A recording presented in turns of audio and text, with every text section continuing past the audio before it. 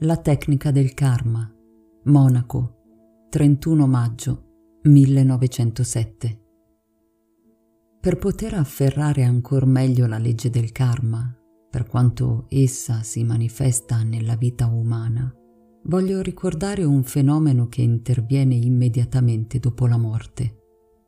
Ricordiamoci del quadro mnemonico che appare quando l'uomo si libera del corpo fisico e vive per breve tempo nei soli involucri del corpo eterico e di quello astrale, prima di continuare il suo viaggio attraverso il mondo elementare. Per comprendere l'intima azione del karma, mi sia permesso di descrivere lo stato di sentimento che si prova già mentre si osserva quel grande quadro. Si tratta della sensazione di sentirsi ingrandire, del crescere fuori di se stessi. Il fenomeno si manifesta sempre più, ancora mentre l'uomo è nel suo corpo eterico. Si è infatti in una strana condizione di fronte al quadro mnemonico. Dapprima si tratta di immagini della vita passata che si vedono come in una specie di panorama. Arriva poi il momento, non molto tempo dopo la morte, ore o anche giorni a seconda dell'individualità, nel quale si ha la sensazione di essere noi medesimi le immagini osservate. Si sente crescere il proprio corpo eterico, come se comprendesse tutta l'atmosfera terrestre, su fino al sole. Quando poi l'uomo abbandona il corpo eterico, interviene un'altra stranissima sensazione, molto difficile a descriversi con le parole del mondo fisico. Ci si sente espandere, dilatare lontano nel cosmo, ma come se non si arrivasse a riempirlo. Lo si può descrivere solo malamente. È come se una parte del proprio essere fosse a Monaco, un'altra a Magonza, una terza a Basilea, e un'altra ben al di fuori della sfera terrestre, magari sulla Luna. Ci si sente come spezzettati, mentre gli spazi intermedi sembrano non appartenerci. Questo è lo strano modo di sentirci sul piano astrale, come diffusi nello spazio, in diversi luoghi, senza però riempire lo spazio intermedio. Si hanno queste sensazioni per tutto il periodo del Kamaloka, che l'uomo vive a ritroso sino alla nascita. Si tratta di sperimentare le scene vissute che poi si articolano con tutta la rimanente vita del Kamaloka. È importante saperlo per avere un'idea di come agisca la legge del karma. In un primo tempo ci si sente nella persona con la quale si fu legati da ultimo e poi man mano in tutti gli uomini o gli esseri coi quali si ebbe a che fare durante la vita. Se per esempio si è picchiato qualcuno a magonza, dopo la morte e a tempo debito si rivivono le busse e i dolori causati. Se quindi l'interessato è ancora a magonza, una parte del corpo astrale dopo la morte si sente in quella città e là rivive la scena. Se però nel frattempo chi ebbe le busse è morto, ci si sentirà nel luogo dove egli si trova nel Kamaloka. Naturalmente non abbiamo a che fare con quella sola persona, ma anche con molte altre sparse sulla terra e nel Kamaloka. Ci si trova quindi dappertutto e ciò è possibile grazie allo spezzettamento caratteristico della corporeità nel Kamaloka. Possiamo così sperimentare entro il nostro prossimo quanto si ebbe a che fare con ogni singolo, costituendoci così un legame durevole con tutti coloro coi quali fummo in contatto. Si sarà quindi legati con quella persona che si è picchiata, perché si sarà vissuto con lei nel Kamaloka. Più tardi si sale nel Devachan per ritornare in seguito nel Kamaloka dove il corpo astrale ritroverà quanto ci unisce a coloro nei quali ci si era immedesimati. Siccome vi sono molti collegamenti del genere, ne risulta che tutto quanto ci riguarda è unito a noi da una specie di legame. Sulla scorta di osservazioni occulte si avranno dei chiarimenti in merito, ricordando quanto ho già raccontato nei giudici della Santa Veme che condannarono a morte un uomo eseguendo anche la sentenza. Nella vita precedente il condannato era stato una specie di capo e aveva fatto giustiziare cinque persone, poi egli morì e durante il Kamaloka dovette raggiungere il luogo dove erano gli altri, sperimentando nell'interiorità degli altri cinque la sensazione che questi avevano avuto in occasione della loro uccisione. Questo è l'inizio delle forze di attrazione che nella nuova incarnazione sulla Terra riuniscono le persone affinché possa compiersi la legge del karma. Così è la tecnica del karma. Ci sono modi di essere, affinità nel mondo, che iniziano già sul piano astrale. Sul piano fisico abbiamo la continuità della materia, mentre su quello astrale possono essere sperimentate parti della corporeità, affini fra di loro, ma ciò nonostante separate. È come essere coscienti di avere la testa, poi nulla fra testa e cuore, poi solo il cuore, di nuovo nulla ed infine i piedi. Una parte di noi potrà essere in America, essere separata, ma appartenere alla stessa nostra corporeità astrale. Un'altra parte sulla Luna e una terza magari su un altro pianeta. E non c'è bisogno che vi sia alcun nesso astrale visibile fra le diverse parti. Considerando la legge del karma in questo modo, comprenderemo che gli avvenimenti di un ciclo della vita di un uomo sono il risultato di diverse cause risalenti a vite precedenti. Ci si può ora chiedere come si possa far concordare la legge del karma con quella dell'ereditarietà, perché si dice che vi sarebbero delle contraddizioni fra queste due leggi.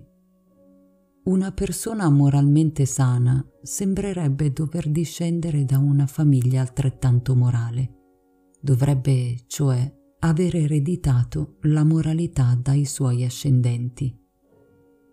Considerando però i processi fisici da un punto di vista occulto, sappiamo che non è così, seppure sotto un altro aspetto possiamo considerarli come fenomeni ereditari degli esempi chiariranno meglio il fenomeno. Nella famiglia Bach, nel corso di 250 anni, sono nati 29 musicisti, fra i quali il grande Bach. Per essere un buon musicista non basta la sola intima capacità musicale, occorre anche un orecchio ben formato fisicamente in un modo determinato. Un profano non distingue i due aspetti, perché occorre guardare con profonde forze occulte. Anche se la differenza è piccola, di scarsa importanza, occorre pur sempre una certa forma interna degli organi dell'udito affinché si possa divenire dei musicisti. Queste forme si ereditano e sono simili a quelle del padre, del nonno e così via. Si ereditano proprio come la forma del naso. Supponiamo ora che sul piano astrale un'individualità sia pronta a incarnarsi e che stia cercandosi un corpo fisico. Supponiamo pure che da secoli o da millenni abbia acquistato capacità musicali. Se non riesce a trovare un corpo fisico con l'orecchio adatto, non potrà diventare musicista. Tenderà perciò verso una famiglia nella quale esista orecchio musicale, perché non potrebbe sviluppare le sue disposizioni musicali senza l'orecchio adatto. Allo stesso modo il più grande solista virtuoso nulla ci potrebbe far ascoltare senza uno strumento. Anche il talento matematico richiede qualche cosa di ben determinato. Il matematico non ha il cervello costruito in modo speciale, come molti ritengono. Il pensiero, la logica sono uguali per lui come per chiunque altro. Sono invece determinanti i cosiddetti tre canali semicircolari esistenti nell'orecchio, che sono in un certo nesso fra di loro, in modo da riprodurre le tre dimensioni dello spazio. Lo speciale sviluppo dei tre canali è pregiudiziale per il talento matematico, condiziona la comprensione della matematica. Si tratta di un organo fisico e deve quindi essere ereditato. Nella famiglia Bernoulli vediamo così incarnarsi otto matematici di valore. Anche chi è morale, per realizzare la sua predisposizione, ha bisogno di genitori dai quali avere per eredità un corpo fisico adatto avrà allora quei genitori perché egli è una determinata individualità e non un'altra. L'individualità si sceglie quindi i suoi genitori, anche se sotto la guida di entità superiori. Data l'esistenza dell'amore materno, si potrà non essere d'accordo su questi fatti. Si potrà infatti temere di perdere qualcosa se si riconosce che il figlio non eredita dalla madre alcune qualità. La vera conoscenza, però, arriva persino ad approfondire il sentimento dell'amore materno. Mostra infatti che si tratta di un amore esistente ancora prima della nascita, ancora prima del concepimento, di un amore che ha diretto il bambino verso la madre. Già prima della nascita, l'amore del bambino muove incontro alla madre che lo contraccambia Visto spiritualmente, l'amore materno risale fino a prima della nascita, deriva da reciproci sentimenti d'amore. Si crede spesso che l'uomo sia sottoposto all'immutabile legge del karma e che questa sia invariabile. Faremo ora un esempio tratto dalla vita per afferrare l'azione della legge del karma. Nei libri di un commerciante sono registrate determinate poste in dare e in avere. Sommandole e confrontandole, si ha la condizione dei suoi affari sottoposta all'inesorabile legge contabile del dare e dell'avere. Se però il commerciante conclude nuovi affari, dovrà annotare altre registrazioni e sarebbe uno stolto se non volesse concludere nuovi contratti dopo la chiusura del bilancio. In relazione al karma si hanno nella colonna dell'avere tutte le azioni buone, intelligenti, vere e giuste che si sono compiute.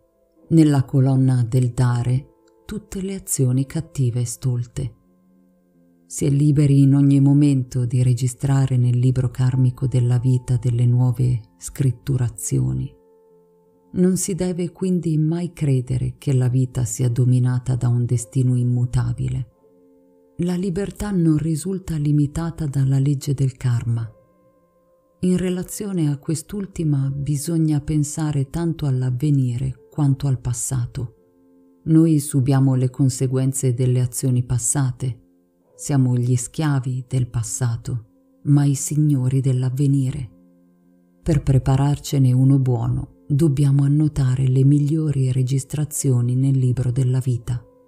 È un grande e potente pensiero il sapere che qualsiasi cosa si faccia non è inutile, che ogni nostra azione influenzerà l'avvenire.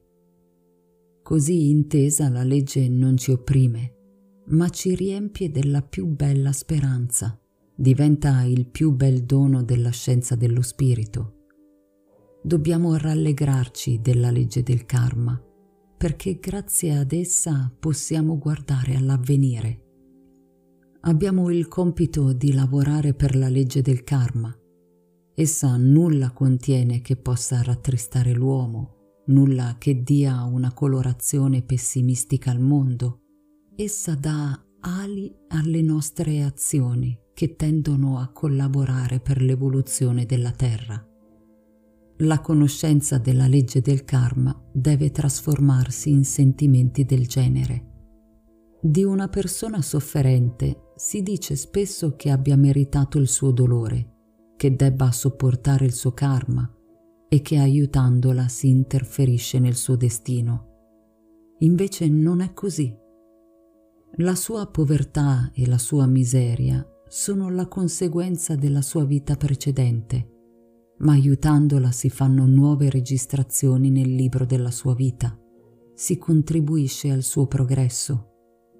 Sarebbe altrettanto stolto dire a un commerciante, invece di salvarlo dal fallimento con un prestito qualsiasi, che non lo si aiuta perché in tal modo si varierebbe il suo bilancio. La conoscenza che nei nessi karmici nulla è senza effetto ci deve spingere ad aiutare i nostri simili, ci deve essere di sprone per le nostre azioni concrete. Molti contestano la legge del karma dal punto di vista del cristianesimo. I teologi dicono che il cristianesimo non può riconoscere la legge del karma perché se essa fosse vera non sarebbe più ammissibile il principio della morte del Cristo per l'umanità. Vi sono anche seguaci della scienza dello spirito che affermano la contrapposizione fra la legge del karma e il principio della redenzione. Sostengono di non poter riconoscere l'aiuto dato da un solo essere a molti uomini.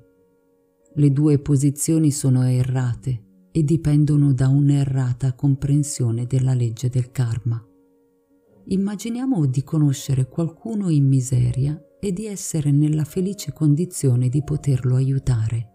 Per quell'aiuto portiamo una nuova registrazione nel libro della sua vita. Qualcuno più potente potrà aiutare due sofferenti e agire così sul karma di due persone. Un altro ancora più potente potrà aiutare 10 o 100 persone. Il più potente potrà aiutare un numero infinito di persone, senza peraltro contraddire al principio dei nessi karmici. Proprio per l'affidamento che dà la legge del karma, sappiamo che aiuti del genere influenzano realmente il destino dell'uomo. Si sa che in effetti l'umanità aveva bisogno proprio di quell'aiuto quando il Cristo fu inviato e scese fino al piano fisico. La morte in croce del Redentore, di quell'essere unico, rappresenta l'aiuto che ha influenzato il karma di un numero infinito di persone.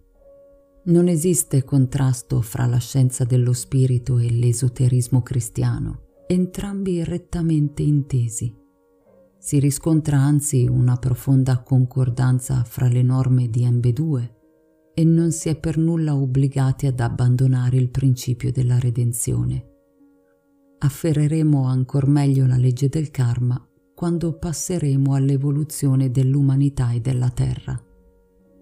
Abbiamo accennato ad alcuni fatti per comprendere la legge del karma e comprenderemo ancora dell'altro quando passeremo all'evoluzione dell'umanità, non soltanto quella svoltasi sulla Terra, ma anche quella avvenuta durante l'esistenza degli altri pianeti che furono le precedenti incarnazioni della Terra stessa.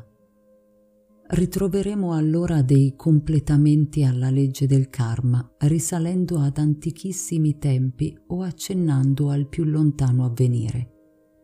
In via introduttiva consideriamo ancora alcuni importanti fatti. Oggi abbiamo stabilito che il corpo fisico umano, quello che noi vediamo con gli occhi fisici, viene formato dalle parti costitutive superiori della natura umana. Abbiamo stabilito che l'io, il corpo astrale, quello eterico e così via sino alla parte più alta, l'atma, lavorano al nostro corpo fisico. Non tutte queste parti, oggi costituenti l'uomo, hanno lo stesso valore. Una considerazione anche superficiale è sufficiente per stabilire che il corpo fisico è senz'altro la parte più perfetta della nostra natura. Solo per esempio, si esamini una parte del femore. Non si presenta compatto, ma costituito di travicelle artisticamente disposte in ogni direzione considerandolo non soltanto con l'intelletto, ma anche col sentimento, si resterà meravigliati della saggezza che lo ha costruito, che non ha impiegato più materiale dello stretto necessario allo scopo di poter sopportare il tronco, sempre sulla base del principio del minimo sforzo. Nella costruzione di un ponte, l'ingegneria è lungi dall'essere progredita sino alla saggezza che ha costruito il femore in natura. Studiando il cuore umano non soltanto come cultori d'anatomia e di fisiologia, vi si riscontrerà la manifestazione di una elevata saggezza. Non si creda che il corpo astrale umano, per sua natura, sia oggi progredito come il cuore fisico dell'uomo. Il cuore è costruito con arte e saggezza, mentre le tendenze del corpo astrale fanno sì che l'uomo aggravi per decenni il lavoro del cuore, che deve anzi resistere ai veleni impostigli. Soltanto a un gradino futuro di evoluzione il corpo astrale sarà sviluppato come ora lo è il corpo fisico, anzi sarà allora molto più progredito. Oggi il corpo fisico è il più perfetto, meno lo è l'eterico e ancor meno l'astrale. L'io è la più giovane fra le parti costitutive dell'uomo. Come oggi ci si presenta il corpo fisico è la parte più vecchia della natura umana, quella che è stata elaborata più a lungo. Soltanto dopo aver raggiunto un certo gradino nel corso dell'evoluzione, esso fu compenetrato dal corpo eterico. Dopo che questi due ebbero agito insieme per un certo tempo, venne aggiunto il corpo astrale e infine l'io, che però in avvenire salirà ad altezze insospettate nella scala evolutiva. Come l'uomo si incarna ripetutamente, anche la nostra terra ha passato diverse incarnazioni e altre ancora ne attraverserà. Il principio della reincarnazione è valido per tutto il cosmo e la nostra terra, nella sua attuale figura, è la reincarnazione di precedenti pianeti c'è possibile vedere tre di tali incarnazioni. Prima di divenire come oggi è, la nostra Terra era quella che in occultismo e non in astronomia viene chiamata antica luna. La luna attuale è una specie di scoria, espulsa perché non più utilizzabile. Potendo mescolare terra e luna attuali con tutte le loro sostanze e i loro esseri, otterremmo la precedente configurazione della Terra, la luna dell'occultismo. Oggi la Terra è il residuo della luna di allora, abbandonate le scorie. Come la luna attuale è formata dalle scorie espulse della precedente incarnazione luna, il sole che oggi brilla in cielo deriva da uno stato ancora precedente della Terra. Prima di diventare luna, la terra stessa era l'antico sole, come viene chiamato in occultismo, e come tale consisteva di tutte le sostanze e gli esseri che oggi formano il sole, la luna e la terra. Il sole attuale si liberò di quelle parti che non poteva tenere, quale corpo celeste elevato. Si liberò delle sostanze e degli esseri che oggi formano la terra e la luna e divenne perciò una stella fissa. Per l'occultismo una stella fissa non è sempre stata tale e il Sole lo è divenuto dopo essere stato pianeta. Il Sole attuale, un tempo unito alla Terra, accoglie in sé parecchie entità superiori agli esseri terrestri, mentre la Luna, come oggi la vediamo, ebbe le parti peggiori ed è perciò una scoria espulsa. La Luna è un pianeta degradato mentre il Sole è salito di grado. Lo stadio solare è stato preceduto da un altro, dallo stadio dell'antico Saturno. Si hanno così quattro successive incarnazioni della Terra, Saturno, Sole, Luna e Terra.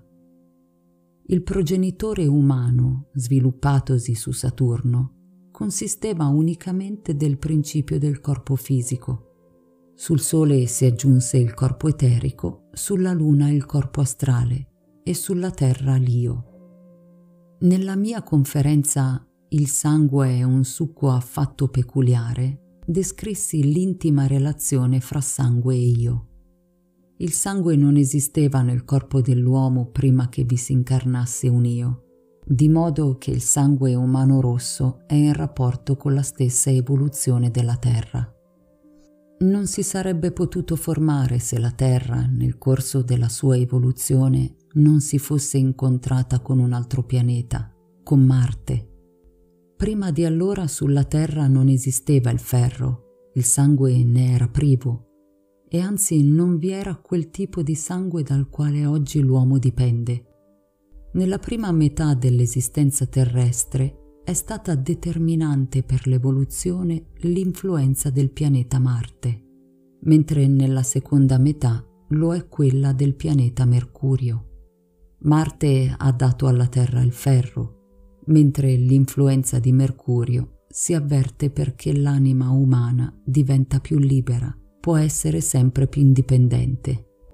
In occultismo si parla perciò di due metà dell'evoluzione terrestre, la prima di Marte e la seconda di Mercurio. Mentre le precedenti evoluzioni planetarie sono indicate ciascuna con un nome di pianeta, per quella della Terra si usa l'espressione di Marte-Mercurio.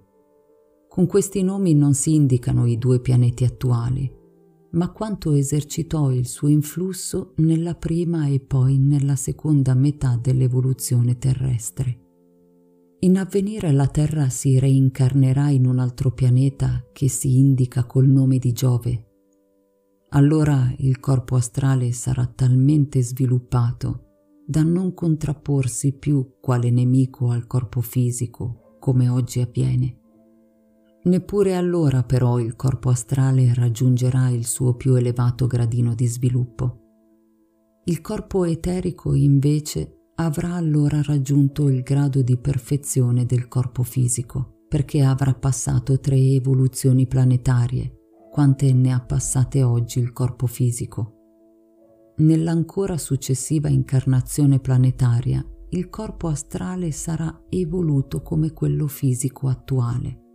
Avrà allora passato gli stadi planetari di Luna, Terra e Giove per arrivare allo stato di Venere Nell'ultima incarnazione planetaria, su Vulcano, l'Io avrà raggiunto la sua più alta evoluzione. Le future incarnazioni della Terra sono dunque Giove, Venere e Vulcano. Si ritrovano gli stessi nomi nei giorni della settimana. Nei tempi antichi erano gli iniziati che davano il nome ai fatti riguardanti gli uomini. Oggi non si sente più l'intima relazione fra i nomi e le cose.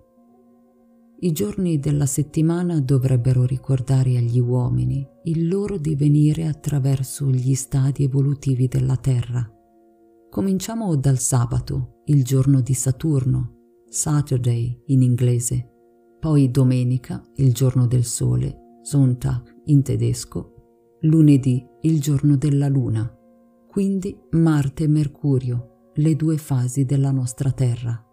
Il giorno di Marte, martedì, mardi in francese e Dienstag in tedesco, è il giorno di Mercurio, mercoledì, mercredì in francese. E Mercurio risponde a Wotan e Tacito parla di un Wotanstag o giorno di Wotan, ancora oggi in inglese Wednesday. Poi giovedì, giorno di Giove, jeudi in francese. Giovedì Giove è il tedesco Dona e quindi Donnerstag. Da ultimo il giorno di Venere, venerdì, vendredi in francese, Freitag in tedesco, da Freya, corrispondente a Venere. Nel susseguirsi dei giorni della settimana si ha quindi un ricordo del divenire della Terra nelle sue diverse incarnazioni. da La saggezza dei Rosa Croce di Rudolf Steiner.